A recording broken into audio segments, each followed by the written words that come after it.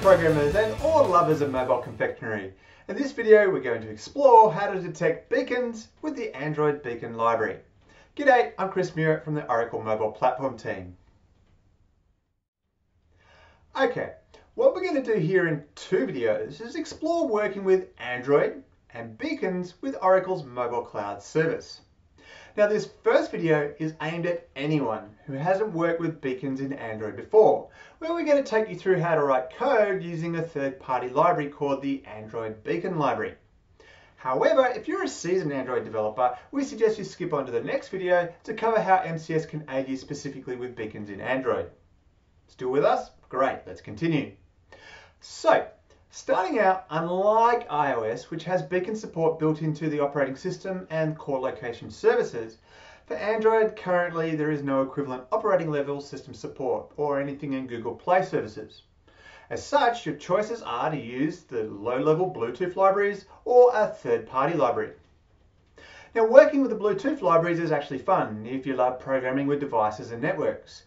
However, you will be coding beacon support from the ground up you really need to know your stuff. And by this, I mean you need to know how to work with Bluetooth, all the low level details, and also beacons as well. And you will need to cover all the edge cases that come with using these technologies. You will need to be an expert. As such, I recommend you go with a third-party Android library designed to work with beacons to assist you. And from my personal experience, with an appropriate library, you can have this up and running in under one day. In fact, I got it up and running in half a day. Now, there are several choices. There are various libraries provided by various beacon vendors and third parties. And also at the same time this video is written, Oracle itself has no recommendation or specific partner for beacons we'd like to put forward to you. However, for the purposes of getting you up and running on Android, for this video we're going to explore using the Android Beacon Library which isn't a part of the operating system, but rather is an open source beacon library created by Radius Networks, who are manufacturers of beacon technologies like the RadBeacon Dot. The Android Beacon library is available under the Apache 2 license, and out of the box is capable of scanning for alt beacons, but it can also be configured to scan for other technologies such as iBeacons and Eddystone 2. In order to work with the Android Beacon library, there's essentially six tasks. Yeah, we've got the right amount of fingers here. We need to perform in our app in order to work with beacons in general. First, we need to add the Android Beacon library, the third-party library, to our project. Next, we need to request permissions to use Bluetooth and location services in our Android application. Then, from the Android Beacon library, we need to define a Beacon Manager object and a beacon consumer implementation to handle the beacon events that are raised during the life of the application. We then create a beacon region object with the beacon UUID, major and minor identifiers we wish to listen for. We're then good to start monitoring for the beacons, which will raise beacon events that our beacon consumer will act upon. And finally, at some later point to save battery life, we need to stop monitoring for the beacons too. Okay, so we'll now demonstrate all of these in a very simple application with a single page and some buttons to kick off various code snippets in the relating Android activity. For our first step, we need to add to our application's Gradle build file the repository JCenter to download the Android Beacon library from and then the Android Beacon library as a dependency itself. In this case, I'm attempting to pick up the latest version 2 library. Having done this in Android Studio, we then click the Build Sync button so the new library will be downloaded from the repository. Now, keep an eye out for any sync errors or warnings that say you're working in offline mode. And if you do see this, you can switch to online mode via the Android Studio, Preferences, Build, Execution and Deploy options, Build Tools, Gradle, and then finally playing with the Offline Work option.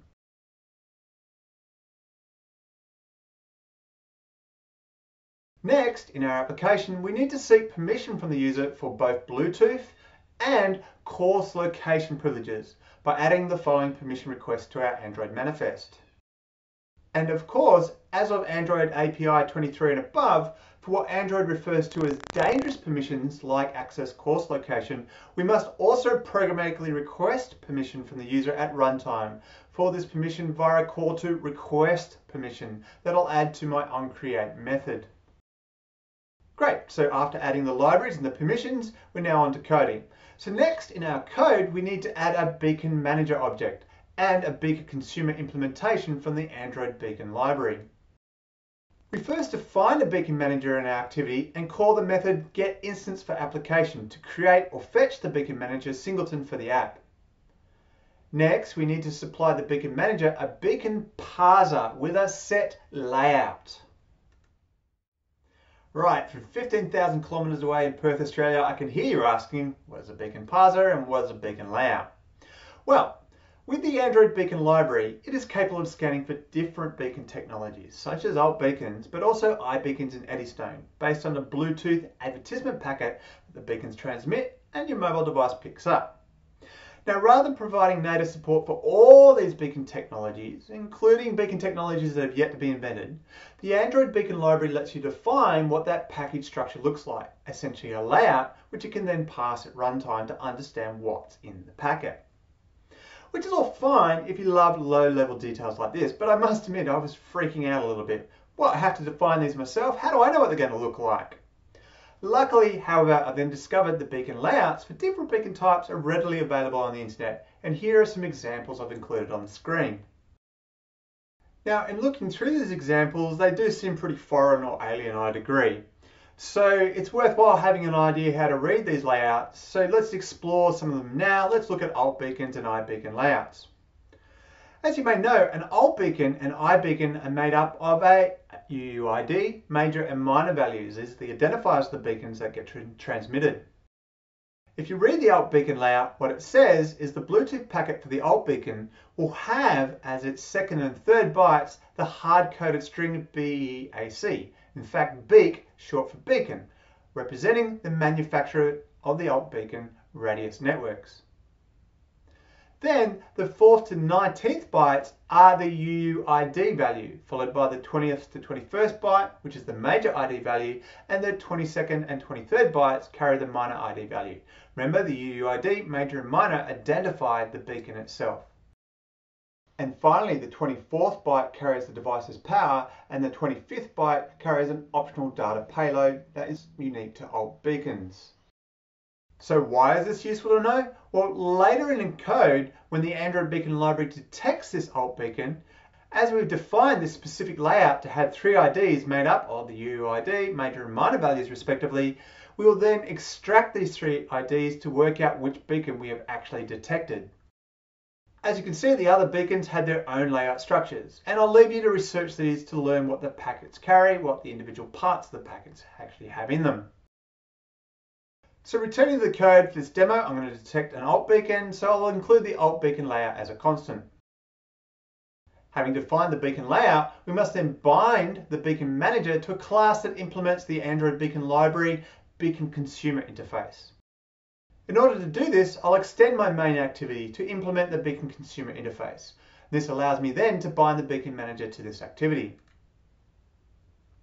Now, as the main activity implements the beacon consumer, a required method for the beacon consumer is the onBeacon service connect method.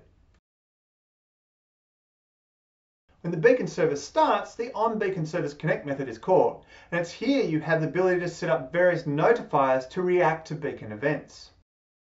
First, with the Beacon Manager, you can set up a monitor notifier, which allows you to define methods did enter region and did exit region.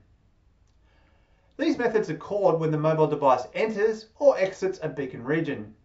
Essentially, these are your event handlers.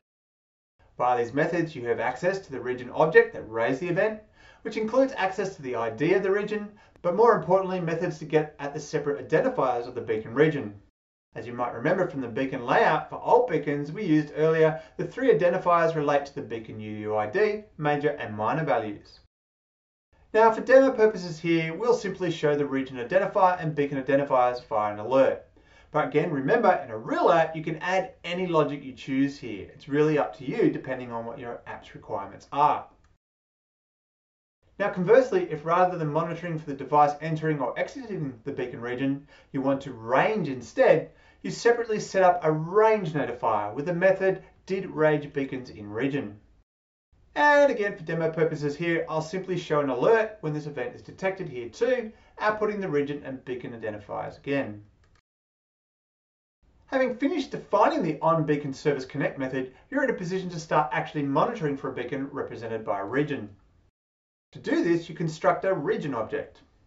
You then first give the region an ID, essentially a unique name, which allows you to distinguish one region from another if you decide to monitor for more than one region. Next, you supply the beacon identifiers. So let's say we're going to scan for a specific alt beacon with the following UUID, major and minor values. From there, if I want to monitor for the device entering and exiting the beacon region, I call the start monitoring beacons in region method. And alternately, if I want to range for beacons, I call start ranging beacons in region. And then finally, conversely to stop monitoring for beacons, we just call the opposite stop methods. Great, so you've got all the programming tasks out of the way. Let's move on to testing. Now, in order to test beacons via Bluetooth, you cannot do this via the Android emulator, unfortunately, as it doesn't provide any Bluetooth testing facilities. Rather, you're going to need a real Android device running an Android API that supports low energy Bluetooth, where that Android device is also running base API 18 or above. However, there was a critical bug in base API 18 for Bluetooth, so you need 19 or above. A little bit confusing. Well, why do I say it? Because the documentation often points you to the wrong API version. And what else are you going to need? Well, you're going to need an actual beacon, right? So what I have here is a RadBeacon Dot from Radius Networks, and I've configured it to broadcast the UUID, major and minor values we programmed earlier, and you'd think I'm right to go. However, a little warning. When you start testing with real Android devices, Bluetooth on some Android devices has been notoriously bad. In fact, this Nexus 7 tablet had one of the worst Bluetooth implementations, its chip, that any device could have had. So you've got to be very careful that when you start out here that you're not actually testing a device that is totally, well, junk at Bluetooth support. Therefore, your beacon application is going to not work. So find a device that does work and then kick off your build. But later on, yes, you're going to have to code for these awful devices as well. Though admittedly in the latest Android devices, you know, the support for Bluetooth is a lot better. So I'm going to soldier on and what I'm now going to do is actually show you what happens when the Nexus 7 application detects the beacon and I'm going to project that onto the screen now. So what I've done is I've started the application and I've started it monitoring beacons. And what you can't see here is I'm now bringing the RadBeacon Dot into the range of the device, or actually vice versa, the device is now within the range of the beacon.